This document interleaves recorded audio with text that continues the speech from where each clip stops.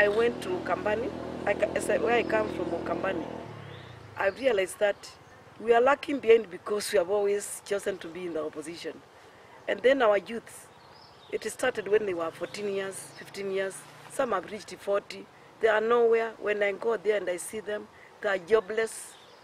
But I'm telling, oh, people from the lower eastern, Makueni, Machakos, and uh, Kitui, if we support the government of today, we support Uhuru Kenyatta, we'll have I'm gaining power so that we can now tell him, now, President, we have given you our vote. Can you employ our youth, our sons and daughters? If we stand with the government, we can start now finding ways of creating employment for our youth.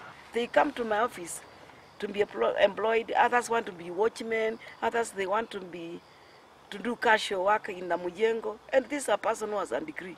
It hurts me. We need to take care of our youth. Our youth are our tomorrow. They, they are the one for tomorrow.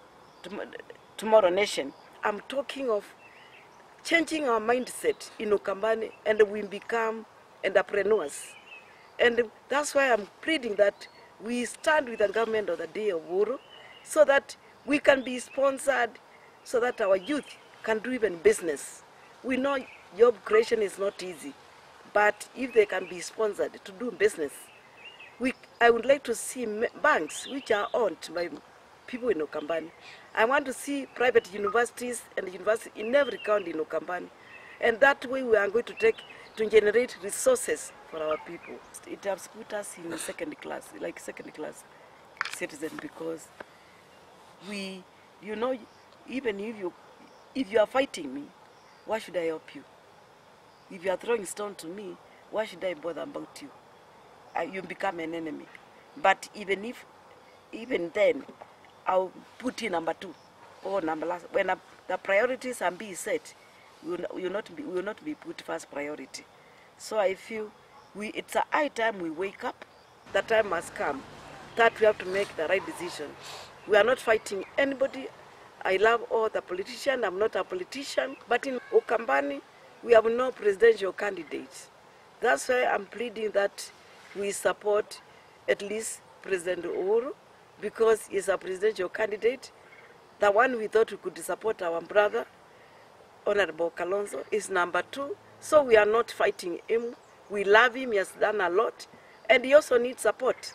He needs support. When it, his time comes and says, I want to be a president, we'll stand lalem behind him.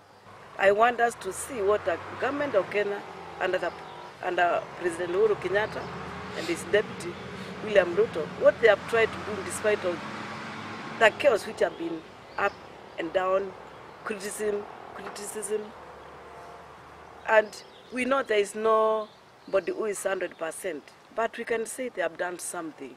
We can see the railway has come.